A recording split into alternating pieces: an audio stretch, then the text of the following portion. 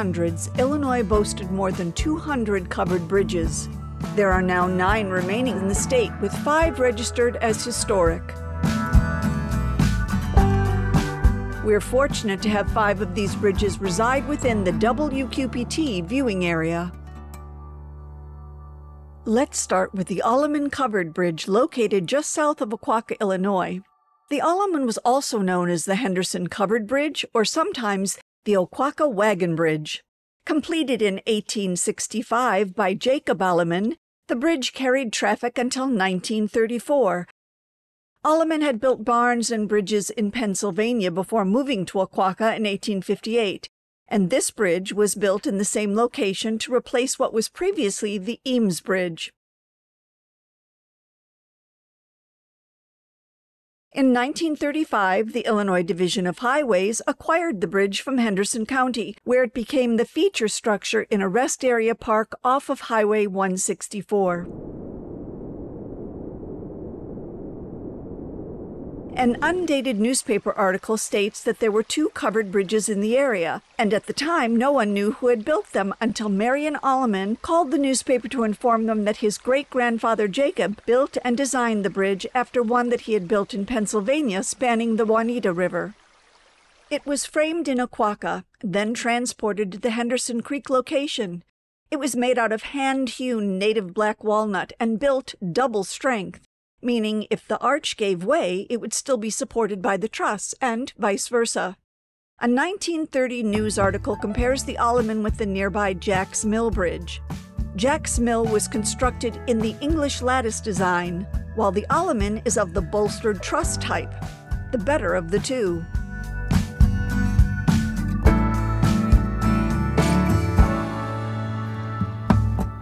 They claim in 1930 that the Alleman still had a crown in the chords almost as perfect as the day that it was built, whereas the Jack Mill Bridge sagged and swayed until it required piers underneath to support it. Regardless of the Jack's Mill's limitations, the article states that both had been wonderful bridges. In 1982, floodwaters lifted the Alleman from its abutments, where it floated downstream toward the Mississippi River, until it lodged, ironically, against the new Route 164 bridge. Two years later, it was rebuilt in its original location, using most of the salvaged original timbers, with a modification because of the flood, raising the foundation an additional three and a half feet. The bridge was rededicated on September 9, 1984. Covered bridges sheltered travelers from storms. They provided a safe way for cattle to cross, since open bridges could startle the cows. If the cattle became spooked, it could cause a stampede. Early settlers claimed the design reminded the cattle and horses of the barns in which they normally found food and shelter, which helped them to keep calm. There is a sign above both entrances of the bridge which reads $5 fine for leading or driving any beast faster than a walk, or driving more than 30 head of cattle, mules, or horses at a time on or across this bridge. The Alleman Bridge was placed on the National Register of Historic Places in 1975.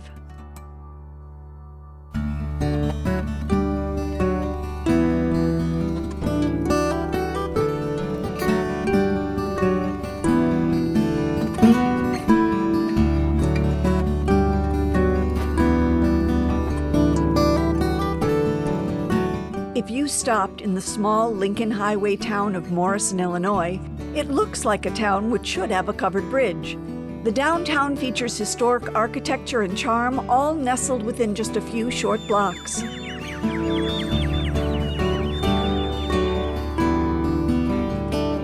Dear girls, we made the trip home in three hours less time, and the roads were better most of all the way home. We thoroughly enjoyed it. We expected to spend a week or so in Dixon camping with some friends sometime this month. Let us hear from you. The town never actually had a covered bridge, so they built one in 2001. Located north of town and south of the Morrison Rockwood State Park, the bridge spans the Rock Creek.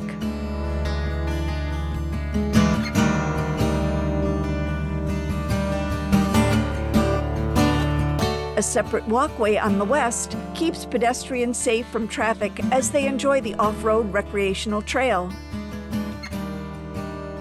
The Morrison covered bridge holds an impressive width and an expansive height to accommodate the present day two lane road.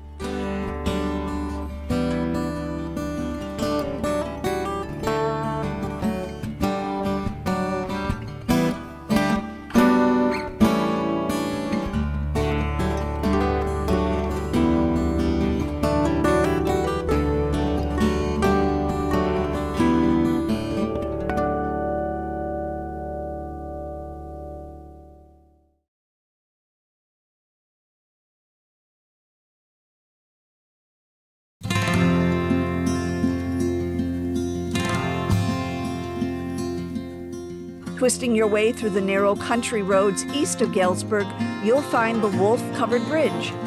In 1831, the state of Illinois granted Knox County $200 to build the bridge across the Spoon River.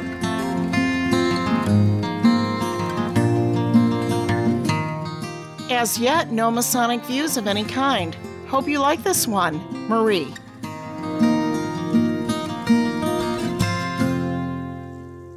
It may have taken until 1848 for Jacob Wolf to begin construction, and at first it was just a wooden deck. He owned over a thousand acres of pasture and would routinely drive 500 head of his cattle across the bridge for grazing. Years later, Civil War Captain James Burkhalter built an enclosure in 1873, worried, as those before him had worried, that a stampede was possible.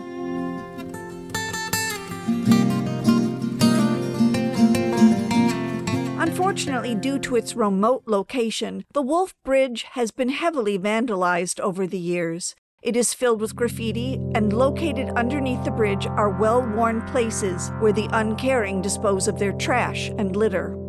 Unbelievably, located directly under the west span is a campfire pit. One can smell ash when visiting, and with a large enough fire, the wooden floorboards would most certainly ignite. In 1994, the original bridge was destroyed by three teenage arsonists who were high on LSD. One witness said that they could see a glow in the sky at 3 a.m., but nothing was actually discovered until 8 the following morning, where residents found the bridge burned to the ground, a pile of smoldering ashes, apparently burning all throughout the night. After a lengthy trial, the underage juveniles were found guilty on lesser charges and simply placed on probation. In addition to the fire destroying the bridge, it was removed from the National Register of Historic Places. A wider and taller replica was commissioned in 1999 at a cost of $900,000 to accommodate more modern vehicles. Heat sensors were installed to trigger sprinkler systems in the event of another fire. Each of the four bridges located in the WQPT viewing area have security cameras installed to deter vandalism and trespassing. In fact, prior to having security cameras, the Alleman Bridge had been set on fire twice in 2003. One blaze caused minor damage, the second destroyed a section of the roof and a portion of the wall. Dear Mother Bradley, arrived in Galesburg on schedule. Expect Bob will meet me in Princeton in a couple hours. My seat partner was a Catholic priest from Denver, Father McShane. Love, Ira. In 1998, the Federal Covered Bridge Protection Program was set up to protect the history of our covered bridges, with over $1 million awarded to Illinois. Even with modern technology and the installation of security cameras, remote locations are still vulnerable. If you visit the bridge today, the degree of vandalism is easy to see, and a strong case could be made to add additional protection to what is now state property, valued at approximately $1,700,000. Perhaps legislation could be introduced to increase charges for all of those who commit crimes at registered historic locations.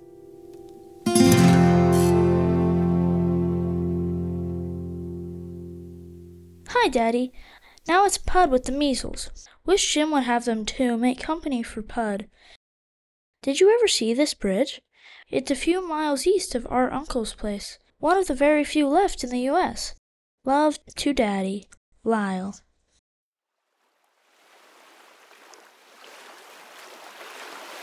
In 1784, Captain Samuel T. Swift was born in Dorchester, Massachusetts.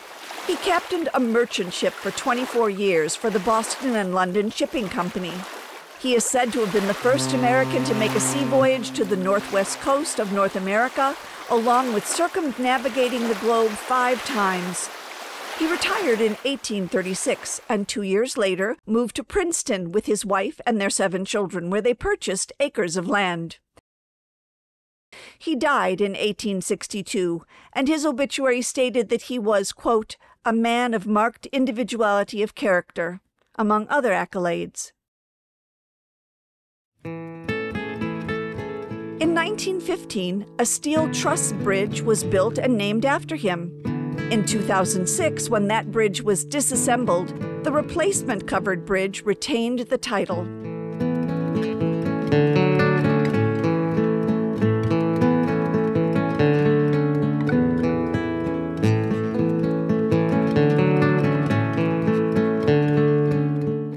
Captain Swift Bridge utilizes Theodore Burr's patented bridge design, made entirely out of wood with an outer skin of Douglas fir. Like the Morrison Bridge, it accommodates two lanes with a 28 foot width, 16 foot clearance, and 128 foot span. The Captain Swift isn't the only covered bridge in Bureau County. In fact, the other location has been so popular with visitors that the Swift Bridge was also built with visitors in mind. Though not built to traditional scale, the expansiveness of the double lane bridge is impressive.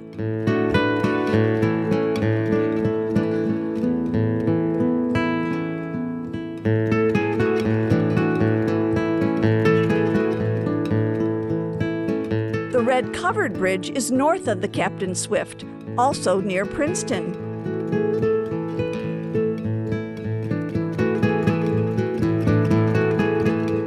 Dear Miss Miles, Papa and I have been driving through the country around here.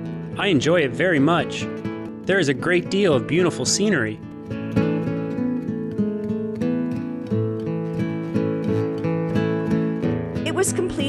1863 at a cost of $3,148 and features a 95 foot span, also crossing Big Bureau Creek, and rests on masonry piers.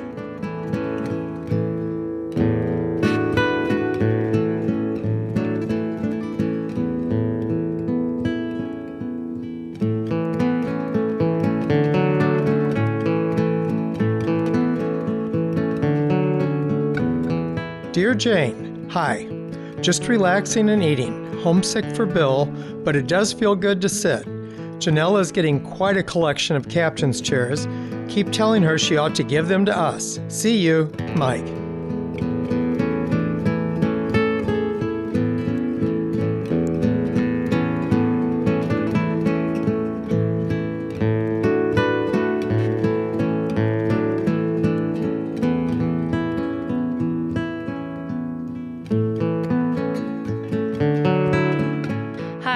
Normal.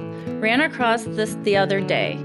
That sign was something. Everyone here well and doing their darndest to show us a good time. Have found lots of places Charlie recognizes. Everyone sends their best and hope you are much better. Love Betty and Charlie. At the time it was built, the route leading through Red Covered Bridge was a major road connecting Peoria to Galena. Signs placed on both sides of the bridge hold a similar warning to those who entered the Alleman Bridge. $5 fine for driving more than 12 horses, mules, or cattle at one time, or for leading any beast faster than a walk on or across this bridge. $5 in 1863 equates to $120 today, and the 5 mile per hour speed limit equals the average speed of a trotting horse. This is one of the sights we saw in our rambles around the country. Have a sister-in-law who has huge collection of these bridges. She has visited most of them. They are her hobby. Are you feeling better? Hope so. Marion and Perry. As an iconic landmark in Bureau County and the most popular of the remaining bridges for tourism, you will find a park and walking trail accompany the bridge location. It is the only original historic covered bridge in Illinois still open to traffic, and that alone is a testament to its remarkable construction. Alleman, Morrison, Wolf, Captain Swift, and the red covered bridges, all within a day drive for WQPT viewers.